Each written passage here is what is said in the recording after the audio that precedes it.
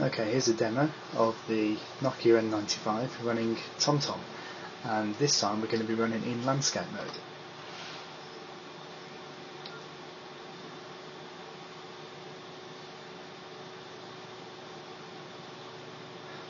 The N95 isn't on TomTom supported devices list yet and so there's a few bugs I'm sure they're ironing out at the moment. I'll show you what most obvious one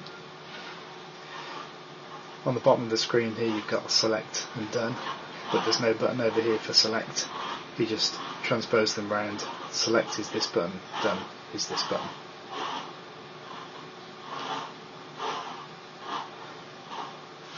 I'll now run a, a demo route that I set up earlier. Again you can see here done you'd think it would be this key but it's this one over here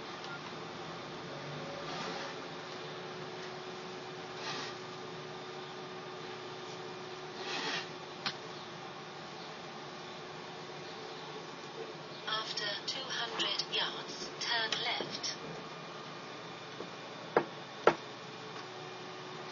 Turn left. I've discovered that the software running on the N95 uh, runs very poorly at the moment if you have any point of interest loaded into the map. So I've removed them all um, from my from my map here on this phone. That includes speed cameras, restaurants, chip shops, things like that. Um, but you'll, you will see that even though it's running around about 5 frames a second, when you get voice commands, Turn left. the map stops.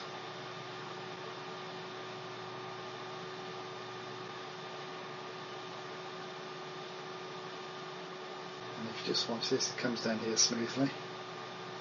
As soon as you get a voice command,